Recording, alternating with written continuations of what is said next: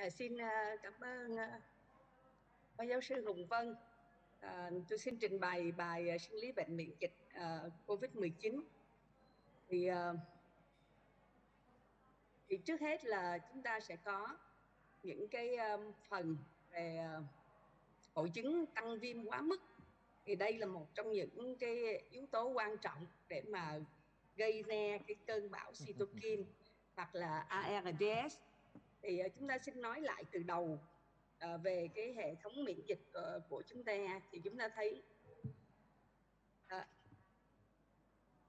chúng ta thấy là con coronavirus thì là nó sẽ xâm nhập vào trong cơ thể của chúng ta à, bằng cái um, đi qua cái ACE2 và GMPRSS2 hoặc là nó có thể nhập vào như hồi nãy thầy Đinh Xuân Anh Tuấn nói và các bạn sẽ nhìn thấy đây là chúng ta sẽ có những cái cơ chế tiếp nhận những cái thành phần của con virus.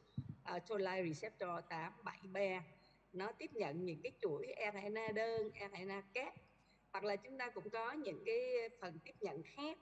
À, ví dụ như hệ thống RIC, hệ thống MDA5 và sau đó thì qua nhiều cái bước trung gian thì chúng ta sẽ thấy nó sẽ kích động một cái yếu tố hết sức là quan trọng là NFKB nuclear factor kappa B. Thì đây là một cái yếu tố gây viêm uh, rất là rất là mạnh rất là quan trọng. Và sau đó thì nó sẽ làm cho tế bào sẽ sinh ra những cái cytokine viêm GL1, GL6, TNF alpha.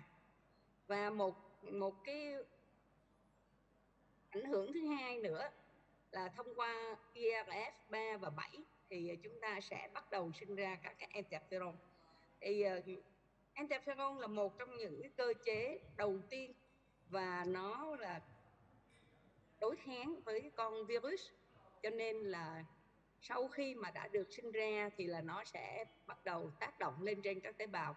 Và từ đây chúng ta thấy là TNF uh, ờ, chip interferon chip 1, interferon chip 3 và nó đi qua các cái con đường trung gian mà chúng ta thấy như sách 1, sách 1 thì sau này chúng ta đã có những cái loại thuốc để mà ức chế những con đường của interferon để mà tránh cái tình trạng quá viêm. Bởi vì interferon là nó sẽ sinh ra hàng trăm cái tế bào hàng trăm cái gen để mà tiết ra các cái chất viêm ở sau này. Như vậy thì chúng ta thấy là SARS-CoV-2 gắn vào tế bào vĩ mô loại 2 đại thực bào phế nang và trên cái con macrophage đó đây là một cái nhân vật mà hết sức là nguy hiểm. À, nó giống như là nó có hai vậy đó vừa lợi vừa hại. Tức là mặc dầu là nó chống lại các con virus nhưng mà nó chính nó sẽ gây ra các tình trạng tăng viêm quá mức. Thì chúng ta có AC2 receptor là chúng ta biết rồi. Macrophage nó còn thêm cái furin nữa. Thì cái furin và GMPRSSI này đó là nó sẽ giúp bộc lộ cái điểm gắn của SARS-CoV và giúp cho virus hòa vào màng tế bào vật chủ. Và nó còn giúp cho SARS-CoV-2 gắn vào nhu mô phổi. Cho nên cái con macrophage này là nó vừa là tốt mà vừa là rất là nguy hiểm cho cơ thể. Thì đây chúng ta nhìn tất cả chúng ta quen biết hết rồi DS ở đây protein gai và cái GMPRSS2 và AC2 receptor. Cái GMPRSS2 này thì nó sẽ hoạt hóa cái cái protein gai và nó kẽ cái EC2 này để mà cho cái con virus gắn vào trong mạng tế bào dễ dàng hơn. Và macrophage đó thì nó sẽ, ở trong cái đường hấp dưới thì nó tạo ra rất nhiều cytokine gây viêm, tạo ra nhiều chemokine kêu gọi các cái tế bào viêm. Và cái nhóm macrophage này nó sẽ gây tăng quá ngoài nó ra nó còn kêu thêm monocyte và đồng thời nó làm cho macrophage biến thành loại M1 macrophage nó có hai loại, một loại M1 gây viêm và một loại M2 thì là dọn dẹp. Nhưng mà chủ yếu là nó có quá nhiều cái loại M1 gây viêm. Ngoài ra tiểu cầu còn bị hoạt hóa cho nên kết hợp với monocyte tạo thành một cái đám kết tập. Thì cái đám kết tập này nó lại huy động thêm monocyte và monocyte thì lại biến thành macrophage như vậy thì chúng ta, các cái giai đoạn đáp ứng miễn dịch thì chúng ta sẽ thấy rằng là thật sự ra đó thì chúng ta cứ nhìn vào cái antibody detection và cái uh, kháng thể trung hòa chúng ta thấy nó rất là muộn rất là muộn xảy ra vào tuần lễ thứ hai rồi. Cho nên một cái vấn đề đó là chúng ta không có cái uh, các cái đáp ứng tốt ngay trong cái giai đoạn mà nhiễm trùng. Đừng có nói tới cái giai đoạn của bệnh. Thì rẽ ra đó từ giai đoạn của bệnh cho tới giai đoạn uh, phát hiện bệnh khoảng hai tuần lễ này thì cái interferon là nó là một cái cơ chế đầu tiên macrophage là cơ chế đầu tiên để mà hủy diệt các tế bào. Và sau ngày thứ 14 thì chúng ta không còn virus nữa. Và tới cái thời điểm này đó thì tất cả các tế bào miễn dịch hoạt hóa macrophage monocyte neutrophil vân vân đó là phải được dọn sạch. Để mà ngăn ngừa việc tăng viêm quá mức gây tổn hại mô nhưng mà người ta thấy rằng là cái phản ứng viêm này quá dài này đó, thì đó là cái việc hậu quả của hoạt hóa quá mức của hệ miễn dịch, chứ không phải là không tiêu diệt được virus. Tại vì tới ngày 14 là gần như chúng ta thấy hết virus mà có thể cấy được rồi. Và như, tại sao? Là tại vì con macrophage M1 này, cái dạng gây viêm này nó vẫn tiếp tục tiết rất là nhiều cytokine và chemokine. Bởi vì cái tế bào T natural killer và cytotoxic cell này đó, lẽ ra là những cái tế bào dọn dẹp macrophage này đó bị sản xuất ra rất và nó một cái dạng kiệt lực là bởi vì đã bị kích thích quá nhiều. Cho nên nó không hiệu quả trong việc dọn M1 thứ hai nữa là các cái mảnh RNA của virus thì nó vẫn còn cái khả năng kích thích hệ miễn dịch, làm tăng các cytokine gây viêm. Thứ ba nữa là cái ti thể của macrophage nó biến đổi cách chuyển hóa, làm macrophage tiết nhiều cytokine.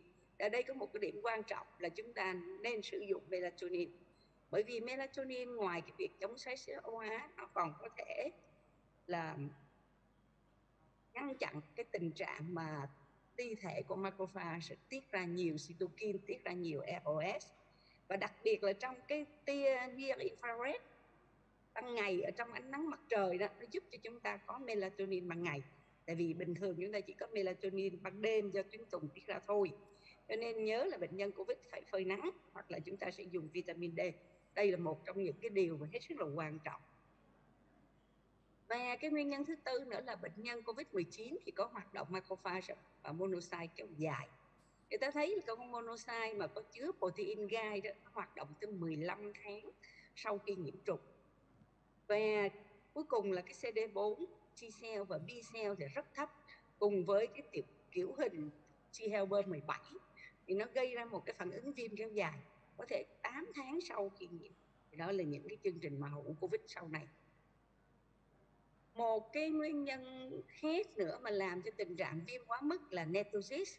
Netosis là cái con neutrophil mà bị SARS-CoV-2 hoạt hóa, nó sẽ tự hủy diệt và tạo ra cái neutrophil extracellular trap, nó gọi là NET. Gồm DNA, gồm histone, gồm các chip chống vi trùng và men protease thì cái điều tốt đó là nó giết con vi trùng. Nhưng mà cái điều nguy hiểm á, là nó tạo ra các cái bệnh lý tự miễn về sau này. Ketosis kích hoạt bởi stress oxy hóa tiểu cầu được hoạt hóa gây tổn hại mô gây chết tế bào tổn hại biểu mô phổi tổn hại nội mạch mạch máu. Đó là những cái điểm hết sức là nguy hiểm và nó còn kích thích tình trạng immunothrombosis gây tiền huyết khối. Ketosis còn ngăn cản cái việc hồi cực uh, macrophage M1 trở lại M2 để cho nó dọn dẹp và sửa chữa. Như vậy thì chúng ta lại thấy M1 là kích netosis. Như vậy ở đây chúng ta thấy một cái vòng lẫn quẩn làm cho cái việc viêm quá mức xảy ra ở trong cái COVID-19 điều quan trọng là netosis có thể điều trị được bởi vitamin C và N-acetylcysteine. Ra nếu quý vị mà còn điều trị bệnh nhân COVID thì xin nhớ cái điều này. Một cái cơ chế bất thường thứ hai là viêm nội mạc và tạo khối rất là nguy hiểm là bởi vì bệnh nhân COVID-19 nặng thì luôn luôn có viêm nội mạc huyết khối trong các vi mạch ở phổi, ở não, ở da, ở vùng mỡ. Và các cái vi mạch thì bị thoái hóa lớp nội mạc, đứt gãy nền mao mạch. Cái màng nền mao mạch bị đứt gãy cho nên là gây ra phù phổi, tắc mạch máu nhỏ và có nhiều tiểu cầu ở trong các cái cục cái điểm thứ ba nữa là khi mà cái tế bào nội mạc mạch máu này mà bị hoạt hóa thì nó sẽ kích thích cái hệ thống bổ thể cái hệ thống bổ thể này thì nó là, chủ yếu là C3A và C5B thì nó sẽ hoạt hóa tiểu cầu, tạo yếu tố mô, làm dễ đông máu. Và nguy hiểm nữa là nó hủy hoại cái lớp nội mạc mạch máu, làm phóng thích cái yếu tố von Willebrand và yếu tố 8 gây đông máu. Cho nên bệnh nhân chúng ta sẽ tăng Alzheimer giảm tiểu cầu, có thể bị DIC và tăng huyết khối thuyên tắc tĩnh mạch cho nên người ta sẽ sử dụng cái ngăn ngừa huyết khối từ sớm với heparin có molecular weight thấp một cái điểm thứ ba nữa đó là khi mà ACE2 receptor có mặt trên tiểu cầu kết tập tiểu cầu làm tăng huyết khối chúng ta đã biết rồi. Và nó hoạt hóa càng cao thì bệnh càng nặng. Nó kết tập với monocyte và monocyte biến thành macrophage. Và cũng chính tiểu cầu là tăng hoạt hóa serotonin tiêu lưu hành đây là một cái điểm mà chúng ta có vẻ như ít chú ý đến. Mà tới 95% cái lượng serotonin này đó, bình thường nó giữ ở trong các hạt của tiểu cầu. Nhưng mà nếu mà nó bị thải ra đó, thì nó sẽ làm co mạch máu phổi, co mạch máu thận, co mạch máu não, làm VQ bất xứng tại phổi, giảm mạch máu tới thận, ngặn tắc cơ tim, co mạch vành, làm tăng tích cập tiểu cầu thêm nữa. Và một cái điều mà các nhà hô hấp rất là lo ngại là gây sơ phổi và gây sơ phổi tiến triển ở bệnh nhân covid nặng. Thì đây là cái hình ảnh của một cái phổi mà bị nặng các bạn thấy là do do cái bổ thể do serotonin mà chúng ta thấy có những cái hạt máu đông của tiểu cầu có dimer và có rất rất nhiều các cái uh, tế bào viêm do cái macrophage nó kêu gọi và rất là nhiều cái stress oxy hóa, các cái chất đó. Serotonin còn làm vỡ cái hàng rào máu não và gây ra các triệu chứng thần kinh. Cho nên bệnh nhân covid sẽ có tăng thông khí nặng, bị giật rung mắt các chân, tăng phản xạ. Và nó không được dọn nếu mà nội mạch mạch máu bị hư hỏng. Và cái điều áp dụng là chúng ta có thể sử dụng các thuốc trầm cảm, giá rất là rẻ, chỉ có 7.000 đồng viên thôi, là fructosamine nó sẽ làm giảm được cái lượng serotonin trong tiểu cầu và người ta đã thấy rõ ràng là các thuốc chống trầm cảm dạng SSRI này làm giảm được tỷ lệ bệnh nhân phải đặt nội khí quản và tử vong và làm hoạt hóa sigma 1 receptor làm giảm sự sản xuất cytokine. Cho nên đây cũng là một trong những cái áp dụng thực tế mà chúng ta có thể uh, áp dụng được. Một cái cơ chế thứ tư nữa đó là cái rối loạn của cái hệ thống renin angiotensin aldosterone system và làm tăng bradykinin chúng ta thấy là cái ACE2 này thì à, mặc dù là nó là một cái receptor nhưng mà nó rất là quan trọng để nó biến cái angiotensin 2 này thành angiotensin 17 bởi vì nếu mà không có ACE2 ACE2 thì lại bị con virus gắn vào, cho nên không, cái phản ứng này giảm đi và angiotensin 2 ứ động lại. Thì nó sẽ làm tăng phân tử kết dính vào tế bào nội mạc, hỗ trợ huy động bạch cầu, làm macrophage sẽ bị phân cực thành M1 tổn hại mối nối giữa các tế bào biểu mô nội mạc gây co mạch, kích thích tạo sơ và tạo ra stress oxy hóa. Cho nên bản thân cái angiotensin 2 này đã nó gây tổn hại phổi còn lớn hơn cái tác hại chính của SARS-CoV-2 và như thế chúng ta không có đủ angiotensin 1 7 đây là những chất mà có tính chất kháng viêm và thoái hóa bradykinin cho nên chúng ta lại bị thêm một cái tổn hại của bradykinin nữa. Cái bất thường thứ năm nữa là hoạt hóa mast cell. Mast cell thì nằm ở dưới nội mạc, nó có toll receptor, và receptor, các chất trung gian gây viêm, chống lại các chất tác nhân gây bệnh hoặc tổn hại.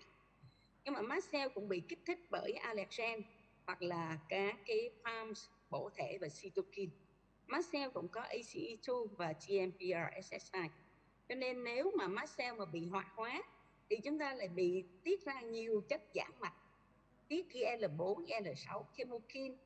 Và chúng ta thấy ở trong tự thiết của bệnh nhân COVID-19 và chúng ta biết là leukotriene receptor antagonist thì nó chống lại mast cell. Cho nên chúng ta có nên dùng cái này hay không thì à, cần phải nghiên cứu. Và một cái yếu tố nữa người ta cho thấy là có thể Covid-19 là một bệnh tự miễn. Bởi vì là có thấy một số uh, kháng thể chống lại các protein điều biến miễn dịch và như vậy các kháng thể này làm tăng độ nặng của Covid-19 52% bệnh nhân Covid có antiphospholipid antibody, làm tăng tình trạng huyết khối. 45% bệnh nhân Covid có ít nhất một autoantibody, trong đó cái rất là quen thuộc là ANIS autoantibody chống lại type 1 anti interferon cho nên là bệnh nhân là bị nhiễm trùng nặng hơn, bởi vì không có cái nào để mà xử con virus và các cái cross reactive neuronal antibody thì sẽ liên quan tới biến chứng thần kinh và có rất nhiều bệnh nhân bị tiểu đường sau SARS-CoV-2 nhiễm SARS-CoV-2 là bởi vì có cái GA65E antibody. Như vậy là chúng ta thấy là trong cái COVID-19 có 6 cái cơ chế miễn dịch sinh lý bệnh được trình bày. Và như thế thì chúng ta cần phải kháng viêm để mà bảo vệ phổi từ rất sớm. À, giống như bệnh nhân à, chúng tôi vẫn điều trị cho các bệnh nhân hô hấp là khi bắt đầu bị nhiễm siêu vi thì chúng tôi dùng inhaled corticosteroid anti-leukotriene để mà bảo vệ cái phế nang ngay từ đầu. Đây là một cái nghiên cứu mà chúng tôi đang tiến hành và rất là mong các bác sĩ sẽ tham gia. À, stress oxy hóa là một cái yếu tố hết sức là nguy hiểm và chúng ta sẽ dùng melatonin, N-acetylcysteine và vitamin D và chống netosis vitamin C chúng ta giảm serotonin lưu hành dùng ờ, SSRI glucosamine à, ờ, chống hoạt hóa mast cell chúng ta dùng anti-leukotriene và các cơ chế mới sẽ còn được khám phá theo thời gian cũng như là với các biến thể. À, xin cảm ơn à, quý vị đã lắng nghe.